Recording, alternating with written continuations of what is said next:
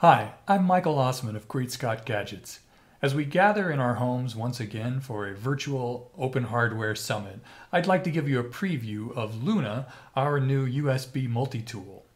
We'll launch Luna on Crowd Supply soon, and you'll be able to see how this small but powerful test instrument can serve as a USB analyzer and perform a variety of other functions. But today I thought you might enjoy a behind the scenes look at how I test each individual Luna hardware prototype. Now, over the past several months, Kate Temkin has turned her attention to the gateware and software of the Luna project, so it has become my responsibility to update her original hardware design.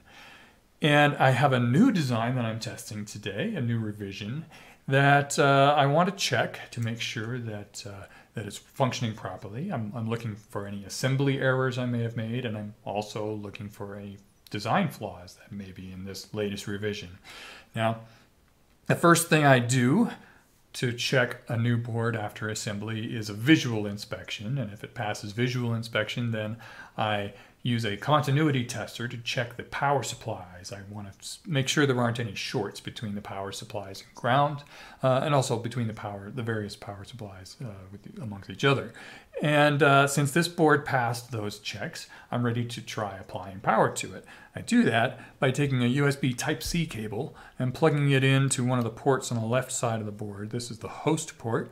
I plug it in and I should see the FPGA LEDs illuminate. They, they don't illuminate their, at their full brightness, but they do illuminate dimly when power is applied, but the FPGA is unconfigured.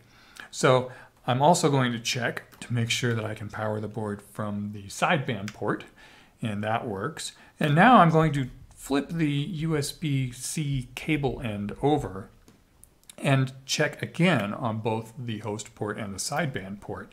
Now this may seem a little strange to you if you don't happen to be familiar with the inner workings of a Type-C cable, but uh, it is an important check. Uh, it's important to test that our board is detected as a USB device that should be powered with the cable in both orientations. And it's particularly important for me to test this on this revision because in the previous revision, uh, the, the, boards did not reliably pass this test. I made a change that seems to be working.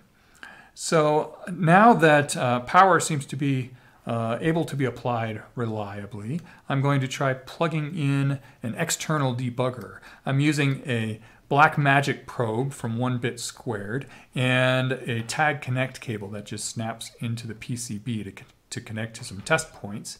And this is how I'm going to program in the Saturn V bootloader onto the debugger on Luna. Now I will do that with a command that uh, tells the, the black magic probe to flash our bootloader code onto that microcontroller on Luna. And that seems to have worked because the debug LED C is now flashing.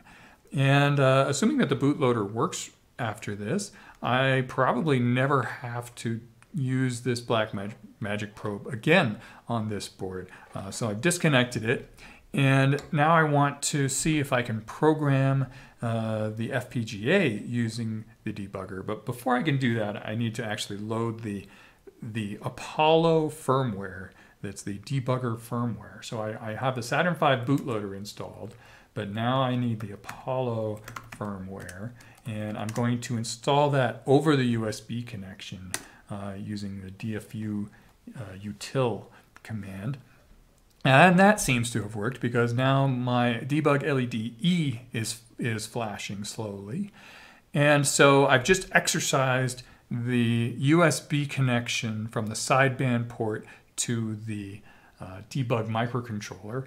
And I now have all, this, all the firmware that I need on that debug microcontroller to proceed with with using it to configure and debug the FPGA. So I'm going to go into my Luna code base and Kate prepared this self-test program that uh, I'm going to try and see if I can program the FPGA and execute this self-test. And this is actually a, a fairly sophisticated test program. It, it includes a CPU that runs on the on the FPGA and code that runs in that CPU. And that test has executed successfully, and I can see a nice green check mark, uh, and all of these tests passed. So this is actually the the biggest part of my of my testing process. Uh, this this one self-test program exercises a bunch of different aspects of the board, including all three of the USB PHY chips that are connected to the FPGA and the RAM that's connected to the FPGA. Uh, so I'm going to terminate that test, and now I want to actually execute uh, something, uh, a function over one of the USB connections uh, and th this will make sure that the, uh, not only can the FPGA communicate with the USB PHY chip, but, but that the entire chain of communication works all the way through to a USB cable, um, which might not work if I had a maybe a bridged soldered connection, like I had a couple of pins bridged on the USB connector or something like that. So I'm going to try uh, configuring um, a, a the FPGA with a, a pre-built bit stream uh, that configures it to run a test on the target port, which is on the right-hand side. And this will be the first time that I've tried USB connectivity over this port. Uh, I will run a uh, test program, uh, a little Python program on my host computer that does a bulk transfer of data uh, over that target USB connection. And so it just takes a couple of seconds and now I can see that it transferred 100 megabytes of data at about 45 megabytes per second, which is exactly what I was expecting. And I'm going to try the same thing on a different port. I'm going to reconfigure the FPGA, uh, again using a, a, a pre-configured, uh, pre-built bit stream. Um, and uh, I reconfigure that FPGA and see the pretty debug LEDs flash uh, in a nice pattern that tells me that the FPGA is being configured. And now I can rerun the same test on a different port. And I should again see that in a couple of seconds it transfers 100 megabytes and I get the same speed, 45 megabytes per second, which is exactly what I was hoping for. Now, if I were to be using this, uh, this Luna as a USB analyzer, I would need it to be in line in the middle of a USB connection between a USB host and a USB device.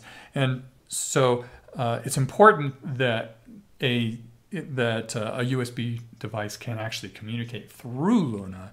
And this should work even if Luna is unpowered. So if I disconnect Luna from power, uh, but I, I do connect its target port to an upstream uh, port, so to, to a port on a host.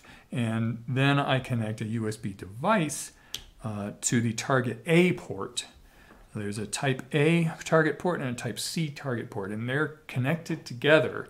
Uh, so even when the Luna is unpowered, I should see that, that my target device, and I'm using here a, a HackRF with a PortaPack on it, um, the target device is actually powered. Now I, I, could be using a Luna, another Luna for this test, but I would just get confused. So I'm using a HackRF.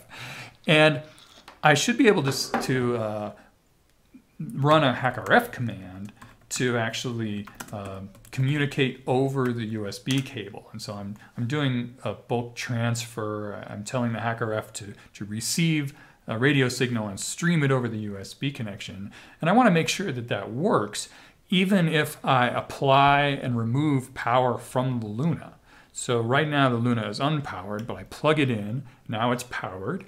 I unplug it, it's unpowered. I plug it in again, and it's powered. And the entire time, the HackRF transfer command uh, was working uh, reliably, so that was a, that's a really good sign. Uh, another thing I should be able to do is actually switch off the power to the HackRF. Um, and and uh, that's something that uh, that we don't have any automated uh, test for yet. So so I'm going to have to kind of make one of my own. And what I've done here is I've just gone into one of the examples that um, sorry that that uh, blink that configures the FPGA with a Blinky program that just blinks the LEDs. And I've made a little change to that program, I've just added a couple of lines of code that tell the FPGA to uh, actually, along with some of the LEDs, it should also switch on and off the the uh, load switch that allows uh, power to pass through the uh, the Luna in, in, from the target C port to the target A port. And this is really exciting to me because I don't know about you, but personally, I don't have a lot of experience with FPGAs. I think they're cool, but I this is this is really exciting to me that I can so easily modify the, the configuration of the FPGA just with a couple of lines of code. Uh, and this is thanks to nMigen and the, the entire open source tool chain that we're using for Luna. And it, it's amazing to me how, how easy this is for me as a, as a developer without much FPGA experience that I can just add a couple of lines of code to this Python program and then execute uh, this um, this code. And what's actually going to happen here when I run this Blinky program is it will synthesize a new FPGA configuration and then install it on the FPGA and then I should be able to see if the HackRF power turns on or off. And you'll see how fast this is. Uh, I execute the program and now it's already configuring. In just a second or two, it was able to, to synthesize that bit stream. And now I can see that the power of the HackRF is actually turning on and off, which is great. i am exercising that load switch that controls pass-through power from the target C port to the target A port. Uh, now, it only took a couple of seconds to synthesize that bit stream for the FPGA, but if I had a more complicated uh, bit stream, if, if I had a configuration that included, for example, a USB stack, it would probably take more like 30 seconds. Um, if you've ever done any FPGA development with uh, traditional uh, proprietary FPGA tools, 30 seconds may be astonishing to you because uh, you may be accustomed to you know, waiting for synthesis to, that might take many minutes or even hours. Uh, so this is really exciting that we have this rapid development cycle enabled uh, thanks to nMigen and the entire open source um, uh, tool chain for this FPGA. Um, I think that's where I'll leave you. I have a, a, couple of more tests to make on this board. So far, it seems to be working very well, um, but I have a couple of other tests that are similar to the ones that I've just done. And if it passes those, I'll be able to send this board on to one of our developers. I hope you enjoy the Open Hardware Summit, and I hope we'll see you soon for the launch of Luna.